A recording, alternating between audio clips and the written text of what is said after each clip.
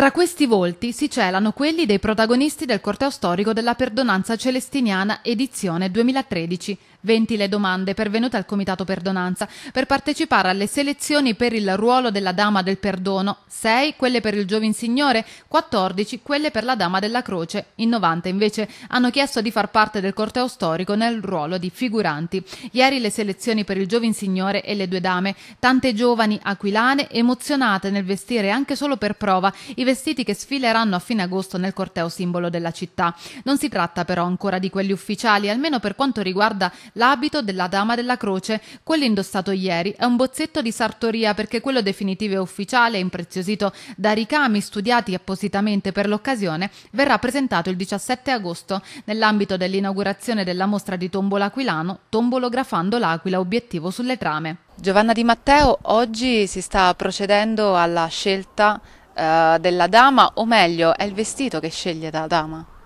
Assolutamente sì. Questo abbiamo visto in tutti questi anni, che è l'abito che segna in maniera particolare il personaggio, perché non è soltanto un fatto di taglia o di altezza, ma è anche una questione di portamento e di insieme. Ci sono dei volti che acquistano moltissimo e certe volte arrivano delle bellissime ragazze, tu dici questo gli sta veramente starà benissimo, non è vero. Quindi il costume in qualche modo è tutto un insieme di personalità, di mm, portamento e poi anche di misure. Eh, come avverranno adesso i prossimi passi? Quali sono le tempistiche? Beh, dobbiamo selezionare, dopo finito con loro, dovremo eh, selezionare, dare i costumi a tutti quanti i figuranti, quindi ne, nei prossimi giorni speriamo di farcela entro Ferragosto ad assegnare tutti quanti i costumi, perché nel periodo successivo andranno fatte tutte le varie modifiche, tutto quello che serve per avere il costume perfetto il 28. Naturalmente per la dama e il giovin signore sapranno il giorno della presentazione chi è stato selezionato.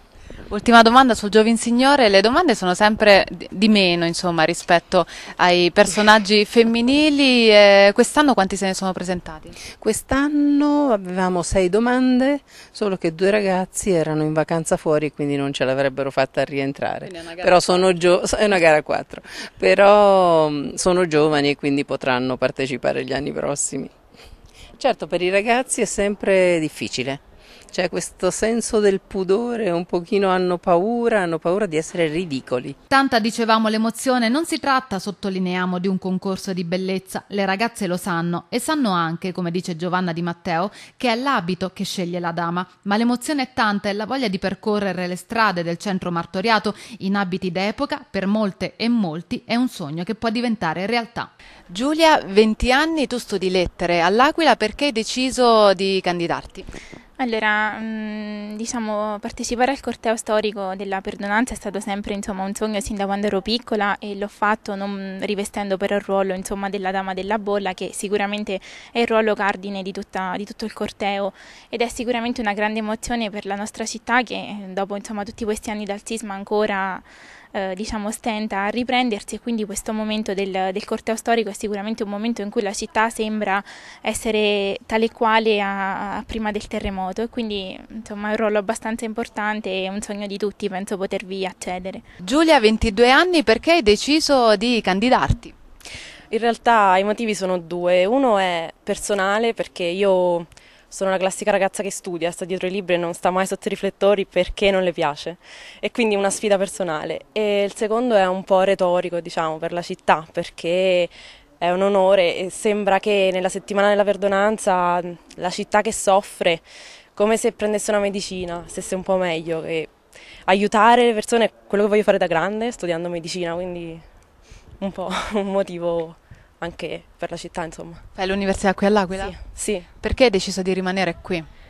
Perché, perché bisognava rimanere dopo, dopo il 2009, anche se l'Aquila è diventata un po' una realtà che va stretta ai giovani, qualcuno deve, deve rimanere un po' a, a stringere le unghie e i denti e lottare un po'. Mario, tu sei uno degli aspiranti Giovin Signore, eh, siete pochi? Perché insomma come ogni anno c'è sempre più richiesta ovviamente eh, per quanto riguarda la dama della bolla o la dama della croce e meno invece di ragazzi perché hai scelto di eh, tentare questa strada quindi di mandare la tua candidatura? 719esima edizione della Perdonanza Celestiniana, secondo tentativo, ci ho provato anche l'anno scorso, però vabbè è andata come è andata. Quest'anno ci abbiamo riprovato proprio perché comunque ci sono varie situazioni, insomma anche sull'Aquila il fatto che insomma si è parlato di questa dama della bolla che non porterà, che la porterà, quindi ho detto proviamoci anche quest'anno, facciamo un tentativo, è una bella posizione, è un'importante figura che eh, sta all'interno del corteo storico, è una perdonanza particolare, perché non provarci e vediamo se possiamo farcela.